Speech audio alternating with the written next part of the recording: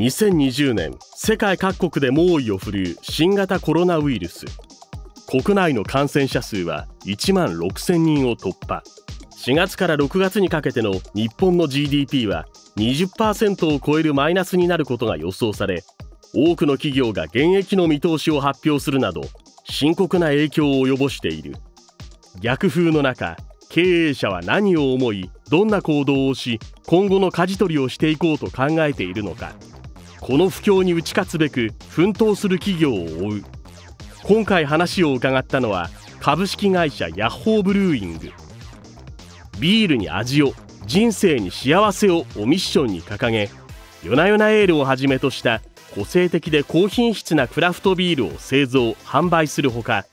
夜な夜なエール公式ビアレストラン夜な夜なビアワークスを東京都内に8店舗展開。同社が手掛けたクラフトビールを楽しむイベント夜な夜なエールの超宴には毎回数千人規模の熱狂的なファンが集うなどクラフトビールの革命的リーダー企業として新たなビール文化の創出に挑戦し続けている。広範囲でしかも長期間続くなと。今まで我々がま創業して23年の中で、ま過去経験したことがない特殊なリスク管理をしている時期が今だと思ってます。コロナ不況下でも成長することができたヤホーブルーイングの強さの秘密に迫るありがとうございます。よろしくお願いします。はい。あの私たち、まあ、ビールを作っていますけれどもあの過去の不況っていうところでいくとリーマンショックはですねあの幸いにも我々は全く影響なくてですねあの世の中大変だったんですけど、まあ、ほとんど無傷だったんですね。ただあの東北のあの震災はですねあの結構大変なことになって、まあ、震災になった時にはまあ、世の中ビールを飲むどころじゃなくなっちゃったので、数日、まあそうですね、数日、1週間ぐらいとかはですね、もうビールのあの注文とかもなくなって、そりゃそうだよな、ビール飲む時じゃないよななんて思って、もうあのすぐ創業を止めて、これ以上ビール作ってももう売れないからしょうがないなんていうあのことをあのやったんですけども、その後、大手ビールメーカーの工場が被災していて、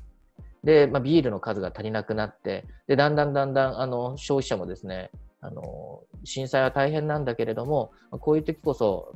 あの、自分の好きな嗜好品をあの飲みたい、ビールを飲みたいなんていう需要がその後すぐ復活しまして、比較的軽いダメージだったんですね。で、今回は、あの、なかなか、あの、当時に比べると我々も規模も大きくなっているんで、影響が当時と比べるともう、あの、いいこともあれば、まあ、悪いこともあるんですけども、かなりあの広範囲で、しかも長期間続くなと、もう今まで経験、我々がまあ創業して23年の中で、まあ、過去経験したことがない特殊なあのリスク管理をしているあの時期が今だと思ってます。実はですね、我々あのマイナスではなくて今ありがたいことにプラスになってるんですね。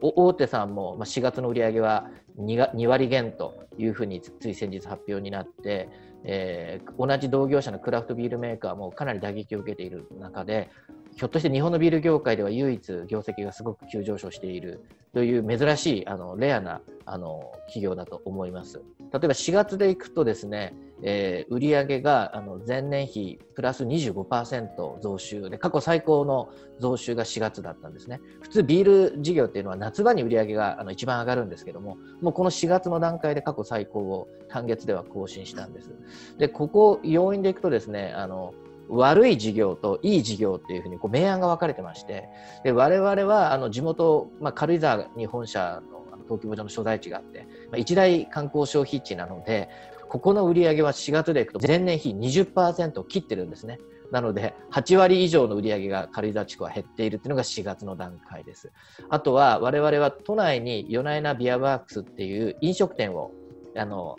公式ビアレストランとして、え出しているんですけど、これ都内に8店舗あるんですけど、あとビアガーデンが夏場1店舗あるんですけど、これがもうあの1ヶ月ぐらいずっと創業をストップしていまして、ほぼ売り上げゼロです、飲食店向けが。それ以外にも、あの都内を中心に全国に飲食店さんにビールのあの出荷をしているのもほぼ売り上げがゼロになっているあとは輸出もあのそこそこあるんですけどもアメリカが一番の消費地なんですけども輸出もまあ十数カ国に輸出してますけどもコロナショックでもうゼロになりました特にアメリカは今後注文が来る見込みがない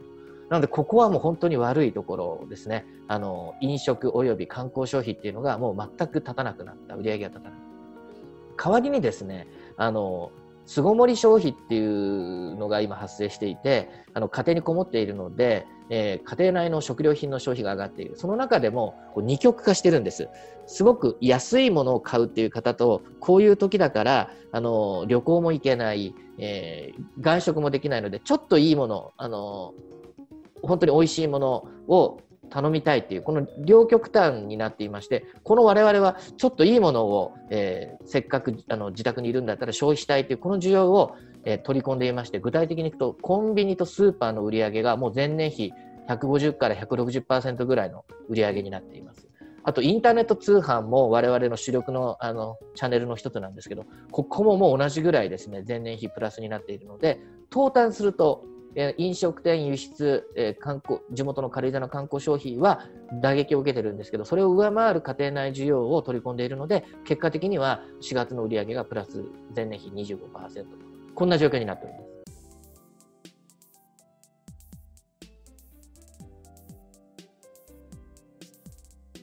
はい、当時はま正直言うとですね私もこの新型コロナの対応について少し甘く見てましてあのまだ世界も2月の後半ぐらいだとそこまでひどい状況じゃなかったんですね。なので、あの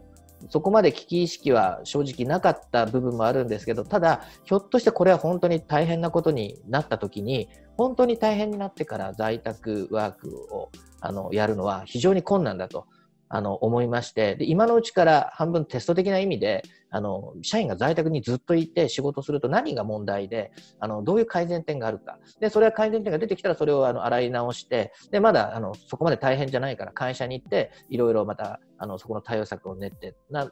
なんていうことを考えてましてもういっそのこと今のうちに全員あの一部の人間を残して全員在宅にちょっとテスト的な意味もあるからやってみようよというふうにあの舵を切ったのが正直なところなんですね。そしたらもうそこからもご存知のようにもう日に日に状況があの一変していて大体もう肌感覚で2日もしくは3日あったら何があってもおかしくないような状況がもうあの3月あのもう本当に起こっていてで、ようやく今、あの、少し、あの、先が見え、見え、まあ、見えないっては見えないんですけども、あの、3月の時に比べると何をこう手を打っていったらいいかっていうのが分かるような状況になってきたので、まあ、当時は、あの、いい判断で、あの、いち早くいろんな課題を洗い出して修正していったので、まあ、あの今ではもう普通のようにみんなもう在宅で仕事をしていて私もあのあれだけ会社に行くのにこだわってたのに意外とこれあの変化に対応できてやれるもんだなっていうふうなのが今実感ですね。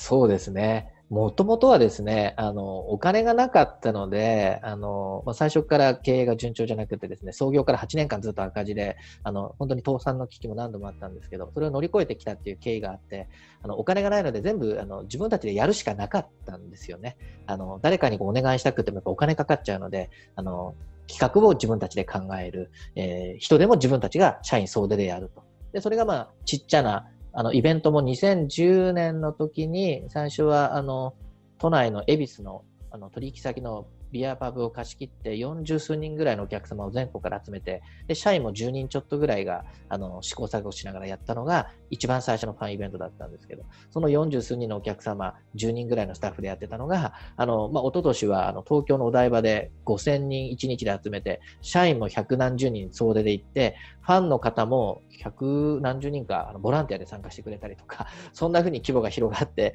いって、で、ここはもう、あの、自分たちでやってるから、お客さんがこうういうことをやったら喜んでくれるとかですね、あの、自分たちが考えてやるからこそ、いろんなアイデアができて、オリジナルのアイデアがあのできて、これはもう誰かイベントをやっている代理店とかにお願いしたら、それはそれでいいものはできると思うんですけど、そうすると、発注元が誰でも同じようなイベントになっちゃうのは仕方ないのかなと思うんですけど、自分たちだけで考えて、自分たちだけでそれを運営しているとですね、やっぱり他者との差別化というか、独自性がどんどん出てくるので、それが毎年毎年ずっと積み重ねていって、なんか他にはないような、すごくアットホームな、社員もとてもあの楽しく、あのファンとの本当に垣根がないね、あの映像とか見てもファンと社員みんなあの同じような服装してるんですね。僕もあの今実はいつも着ているこのヨナエナエル T シャツ着てるんですけどこ、これを着てたりとか、イベント用のヨナエナエルの T シャツ着ているので、社員とお客さんがもう見分けつかないんですよね。それぐらい、あの、同じぐらいあの社員も弾けて楽しんでやってるようなイベントにあのだんだんなってきましたね。これありがたいことで、いつもあの思うのはですね、こんな大変な中でですね、あのみんなあのすごく前向きに取り組んでくれているんですね。あの愚痴も言わずにですね、いろんな不安なこともあると思うんですけども、あのこの美味しいビールをあのお客さんに届けようとかですね、あの大変ながらあのいろいろこの状況に変化しながら、今までやったことがないような作業もやっていこう。やったことがないようなあの発想も使っていって、あの常識をあの覆しながら新しいあのやり方に変化していこう。なんていうのを私があのずっと言っているんですけど、それにですね、みんなあの本当によく答えてくれて、あの楽しくですね、元気よく、モチベーション高く、常にあの働いてくれているには、本当にね、みんなにね、感謝してます。もう本当これはね、あの、すごいなと、あの、ヤホーブリングの社員っていうのは本当に日本どころか世界に誇れるすごいマインド、素晴らしいスタッフに恵まれていてありがたいなと思うので、まあ、しばらくこのコロナの対応っていうのはね、続くと思いますけども、今後もですね、一緒に変化して、あの、お客さんにね、美味しいビールを届けながら、我々も楽しんで元気よく過ごしていきたいなと思うので、これからも皆さんよろしくお願いします。いつも感謝してます。ありがとうございます。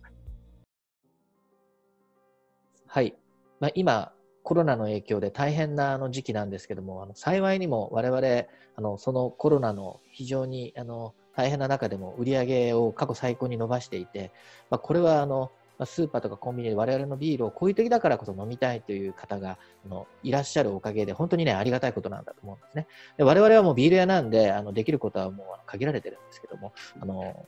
今でもあのファンの方からあのこういう時だからこそ、ヨナヨナエールとか我々の会社のビールを飲んで、あのほっと一息つけるとかね、ほんのささやかな幸せを届けてくれてありがとうという声をたくさんいただくんですね。でもうそれは我々こそ本当にあの皆様のおかげであの経営が成り立っていて、そういうコメントもいただいて、我々もこういう時だからこそ、すごくモチベーションが高くやっていける。あの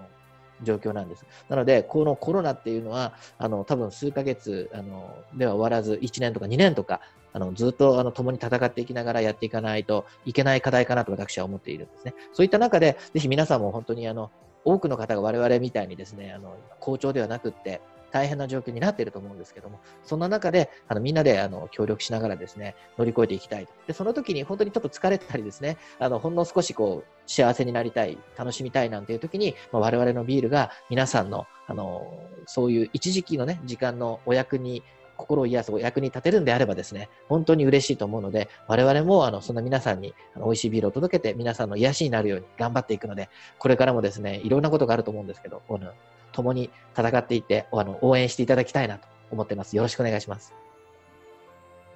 ありがとうございました。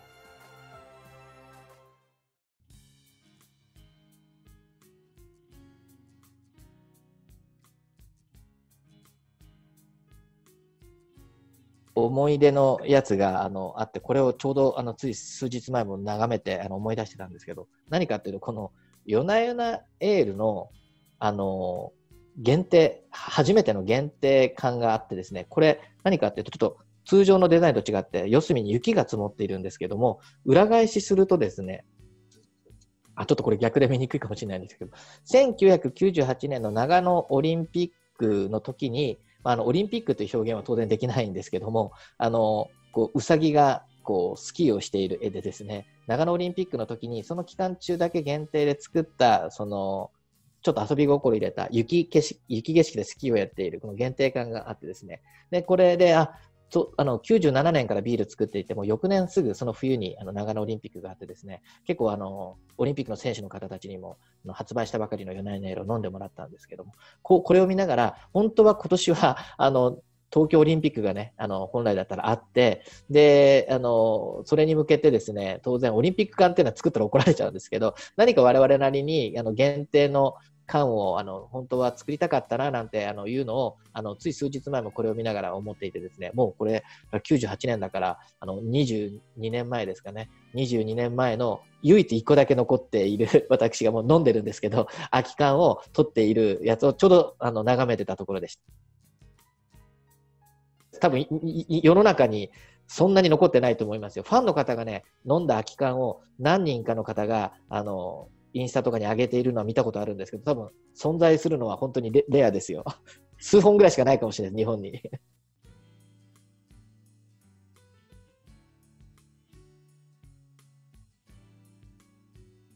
そうですね、98年はあのビールを作り出した翌年で、まだ1年経って、97年の夏から作り出したので、で、それですぐこのオリンピックが始まったので、もう本当にてんやわんや、あの、ビール作り始めて、もう右も左もわからなくて、ただただ忙しい。そして、オリンピック需要がすごくって、長野県にもあの、観光客の方、あの、オリンピック選手もバーッとやってきてですね、で、このヨナエナエルが飛ぶように売れてですね、ビールをいろんなところに届けていって、慌ただしいながらも、あ、なんか我々がやってるこの活動が、あの、日本だけじゃなくて世界中の人にこう飲んでもらえて、すごくあの、嬉しいというか、もう感動してたのをあの覚えてますね。今年なんかもあの本当だったらオリンピックの方が来た時にいかにこの夏に面白いことをやろうかっていろいろ考えてたんですけど、まあ、それどころじゃなくなったんで、まあ、来年ね、このままいけばあのオリンピックが1年ずれてあのあるんで、また来年に向けてあの今度はあの当時に比べると我々もやれることがいろいろ増えてきているので、なんかオリンピックのあのためにいろいろ海外から来ていただいたあの観光客の方、オリンピックのあの選手の方たち、関係者の方たちに飲んでもらえるようなことをいろいろ今考えております。